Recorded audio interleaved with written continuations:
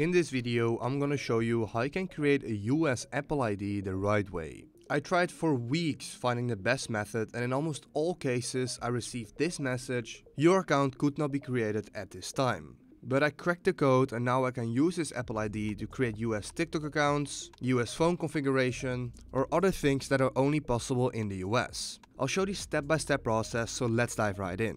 So the first thing you want to do is go to your browser and type in iCloud.com. This is going to bring you to iCloud where you can click sign in. Right here you can sign in with your existing account, but we want to create a new one. So we click create Apple account right here. But before we continue, we have to make Apple believe that we're actually in the US. So to do this, you're going to be using a VPN, which is a program that allows you to change your location online. So click on the link in the description, it's gonna take you to NordVPN, which is a VPN we are going to download and use to change our online location. And NordVPN is also actually one of the only VPNs which is working with iCloud and doesn't get you restricted like this. Once you got NordVPN installed, you want to open it. As you can see, I've opened it right here. Currently, I'm not connected. And now what I want to do, I simply want to type in the United States to connect to a city in the US. So simply click on it and then quite instantly, it's gonna connect to the US. I'm now connected to Seattle with the US IP address. Now we can close this and we can refresh iCloud just like this. And then from here, we can continue. Now for creating your Apple ID account, I wouldn't recommend using your own details, I would recommend using alias information. So what we can simply do for that is open up a new tab and type in fake name generator. Then you want to go to the first website right here, and then here you can set the country to United States and now you get information you can use on this website. Okay, so I just filled in this information, a name, a last name, and I added an email that I already own. And here, obviously, for the country or region, you want to set it to the United States. And then we continue, and now we need to verify a United States phone number. Now this has to be a US number, and for that, I recommend going to this website called byhessel.com slash SMS receiver and then hit enter. This is gonna bring you to this website from where you can rent a US phone number for a monthly fee. So right here you can simply click order number and here as you can see you can choose between US, UK and Canada. So we click US. Then you want to make your account. Then right here you can choose a number that's only used by you that you can use for these verifications. So for me, I'm gonna select this one and I click buy now. And there we go. Now we got the number that we can use. So now simply what I want to do,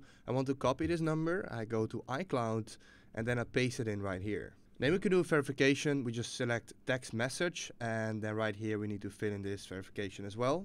And then all the way at the bottom we click continue. Now we need to verify our email first, so I'll fill in the code just like that and then I click continue. And then now they sent the verification code to the phone number so we can simply go back to receive SMS and there we go. We now receive the code.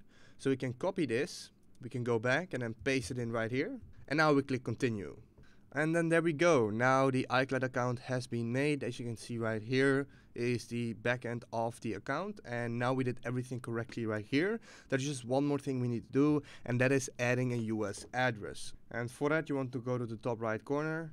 And then here, click Manage Apple Account. Okay, then here you can see all the settings of your account. We can also go to Personal Information, where, as you can see, the country is set to the United States which is perfect, so we did it correctly.